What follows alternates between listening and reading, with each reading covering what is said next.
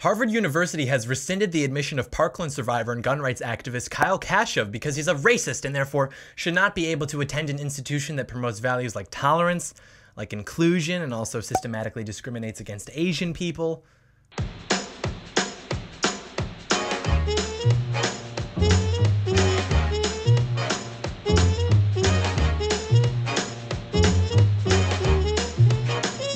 John Doyle in. Heck off, commie. Hello there, pals and gals. Welcome, as always, to Heck Off Commie. Today we are talking about leftist hypocrisy, and for those of you not up to speed with this story, um, there's a young man named Kyle Kashuv that attended the high school in Parkland, Florida, where Nikolas Cruz murdered 17 people in February of 2018, and so not long after the shooting, a handful of Parkland students decided that this would be the perfect opportunity to become outspoken advocates of anti-gun policy, and the media loved this because they could use these kids as their puppets and pretend that, well, you know, they survived a tragedy, so they're experts on gun policy, and we should listen to them. And then Kyle Kashuv was picked up by right wing media because he came out and said, yes, my school was shot up and yes, people died, but I still like guns. And then conservative media did the exact same thing. They said, well, you know, he was there too, but he doesn't want gun control. So checkmate liberals. And this really was my first problem with him, or rather with the idea of him, because right wing media will go on and on for days about, we reject this identity politics. It's not about who you are, it's about your ideas, it's about your thoughts. And then, you know, they claim not to buy into this neo Marxist revitalization of class conflict, but then they do the same thing by promoting this kid into their narrative because they're basically saying that his stance on gun control being bad is more important because of his identity as a school shooting survivor. And it's effective rhetorically, the same way it's effective when the left picks up kids that survived a shooting that also happen to be against gun rights, but it's also hypocritical. And people are going to get, well, John, you're breaking Reagan's 11th commandment. You can't attack conservatives. It's like, I'm not attacking them. I'm stating the fact that their actions were hypocritical and that we should align our principles with our actions. But then on the other hand, it's like, okay, well, what if we should fight fire with fire. Maybe.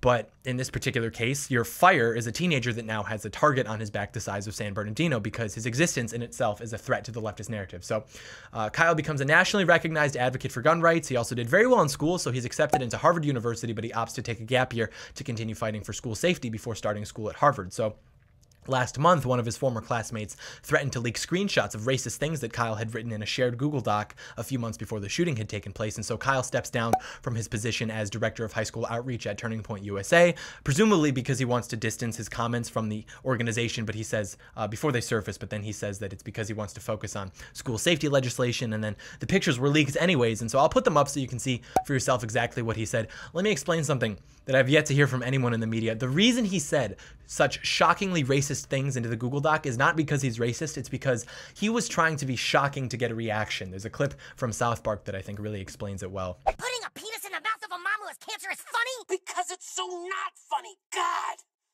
Pushing people's buttons to get a reaction can actually be very good for society. I don't actually believe that Kyle's a racist. I don't. I think the problem is everyone is pretending that they were never young and never said anything for shock value. All these Silicon Valley journalists are pretending that they never participated in a Modern Warfare 2 game chat. It's like everyone's just sitting real comfortably on their moral high horse pretending they've never said anything bad before and therefore they can, you know, like in Scarface, they can point the finger at Kyle go, "That's him. That's the bad guy." And I don't buy it. That being said, there were screenshots of him referring to uh, black people with racial slurs in private messages with people, but he also referred to himself as a quote pasty Jew. So I don't know, maybe he's a racist, maybe he wants the appearance of being racist to get a reaction. It's like the Google Doc I can understand because he was obviously just typing words and just spamming words to be an ass. I mean, he even said that he was going to make a map of his school in CS:GO, which for those of you who don't know is a first-person shooter game, so that he could practice for when he shoots up the school. And then not too long after he said that, some someone came in and murdered 17 people at his school. So but the part that really disturbed me was when he started referring to black athletes at his school with racist language. That was the part that made me because it was so direct. I really was like, okay, do I really want to defend this kid? But the thing is, is if you're going to take one thing that he said as literal, you have to take it all as literal. You can't just cherry pick for your agenda. So if he's racist, he's also an anti-Semite, which is odd because I'm fairly certain that he's Jewish, and he's also into bestiality, and he's also an aspiring school shooter. And those remarks have no share in the market because they don't fit the narrative. The left isn't going to get mad about someone saying that they want to have sex with a dog because that would be limiting sexual expression, which is intolerant. So I'm ambivalent, but I will say that the left is being completely hypocritical about this entire thing as expected. You know, as we mentioned, he put a substantial price on his head by daring to speak out against the leftist narrative, and they were waiting for their opportunity to take him out. So the other night I tweeted that Harvard is a human right in the same format that the uh, that we see from the left whenever they want something. And most of you got it, but some of you thought that that was anti-Kashuv, which I actually now understand how it could be interpreted that way. But the point that I was trying to make is that the left tends to classify things that they would like, things like abortion, immigration, healthcare, as human rights. And then they'll tweet about it in this exact same format because they perceive it to be coherent. So the left categorically ignores the rights of individuals in pursuit of what they believe that they're entitled to. You're violating the rights of a businessman by forcing him to serve you. Doesn't matter, bake the cake. So Harvard is a private institution. They're well within their rights to. Um, to rescind Kyle's admission. Granted, they receive way too much money from the federal government, anyways, but that's a different discussion. And so now the left sees absolutely no problem with this because the student whose admission has been rescinded is an outspoken Second Amendment advocate. They're hypocrites. The principles are not consistent. The only thing that's constant is whatever benefits them at that time. We see this with the deplatforming of conservatives from social media. They completely ignore the legal significance of the publisher versus platform classification and just, well, it's a private company, so sorry, Nazis. And so Kyle Kashuv types racist things at age 16, the outrage mob demands his exile from Harvard, a school that he earned his place in, by the way. His grades and SATs were competitive. If you look at David Hogg, another Parkland survivor who advocates against gun rights and is also a prospective Harvard student, he got in with a 1270 SAT. 25th percentile SAT for Harvard is 1460. You get a 1460 or better than 25% of the kids, still far below average. David Hogg got a 1270. My friend Carson got a 1280 his first try. He literally did not show up to half of every day of school. And it's like 11 a.m. You get a text. It's like, dude, come open up the pool doors. I had to sleep in. So 1270 is a good score, but it's not Harvard good. So I'm just trying to remember where the outrage mob was over Ralph Northam. Sure, a few Democrats came out against him, but that was just to cover their own ass. I'm wondering where the online rage was. I mean, why weren't the people of Virginia demanding his resignation? He was 25 when that photo was taken. I see a very large difference between being 16, typing racist slurs, and therefore losing your position in your college, and being 25, putting on a whole, he put on a whole outfit, wore it around, and then posed for a photo in confidence, and then not losing your position as governor, a position that should carry much more dignity than being one of a couple thousand kids admitted into a pretentious university. A pretentious university, by the way, that is also totally hypocritical. In the letter that they sent to Kashuv, in which they rescind his admission, they imply that his moral character is not aligned with that of the institution, which is probably true, frankly, because Kyle made some shocking comments to make his friends laugh, and Harvard systematically discriminates against Asians, which is more racist, you tell me. Harvard University sends recruitment letters to black, Native American, and Hispanic kids if their SAT score is around 1100 out of 1600. Asian kids only receive recruitment letters if they get about 250 points higher. For Asian women, it's 1350. For Asian men, it's 1380. The proportion of Asian students at Harvard has been about the same for the last 20 years, even though every year their grades and test scores increase. And the average Asian student between 1995 and 2013 had a 30% lower chance of getting admitted than the average white student, and a 40% lower chance of getting admitted than the average black student. This is clear discrimination. But how does Harvard explain this?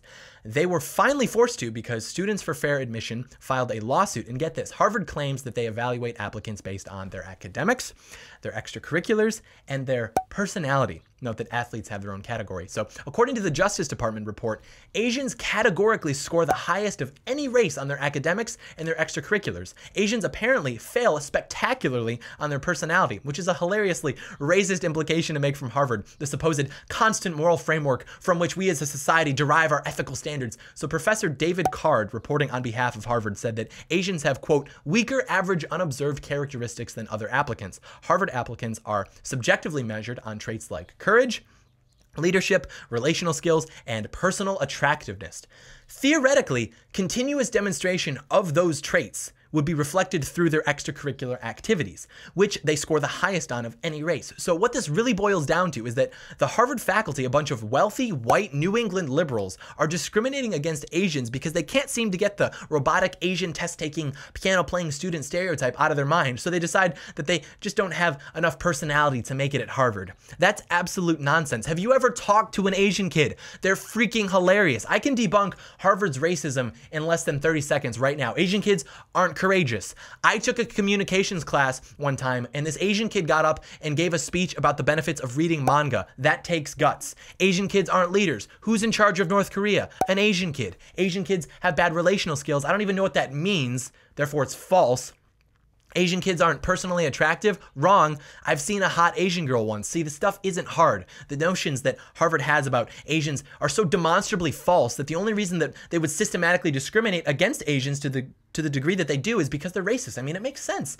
Because they're a racist institution. They can champion inclusion and tolerance all that they want to. It doesn't change the fact that they, the observable fact that they regularly exclude and uh, Asian applicants, they don't tolerate their supposed lack of personality. And I would even bet that the personality category was added specifically to discriminate against Asian kids because they objectively score the highest of any race academically and within their extracurriculars. And what's the purpose of extracurriculars? To see what kind of a person you are, what, what you do in your spare time, your passions, your leadership, etc. And Asian kids have the best extracurriculars. So now Harvard's backed into a corner. So what do they do? invent a new category that subjectively measures personality and that admit that you know the reasons asian are discriminated against is because they perceive their personalities as a race to be unlikable so unlikable that regardless of their exceptional extracurricular involvement and academic performance they don't get they don't get a spot at Harvard. Just totally ignore the old metric by which we determine the type of person someone is, their extracurriculars. Let's just come up with some arbitrary measurement of their personality that screws Asian kids over. That's why Kyle really shouldn't be too bummed about not going to Harvard. It's like uh, the group polarization tendency in psychology where people will tend to become more polarized or extreme when surrounded by similar types of people.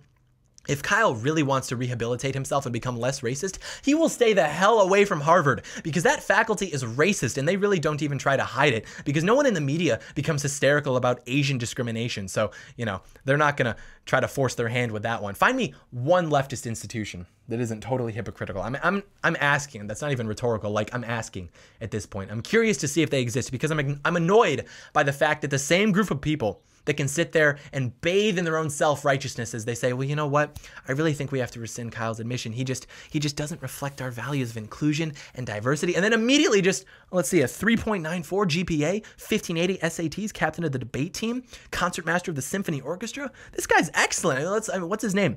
Haruto Akira? Yeah, I don't know. I mean, he's probably he's probably just got a bad personality. Yeah, I we I mean, we just we don't really have room for him here.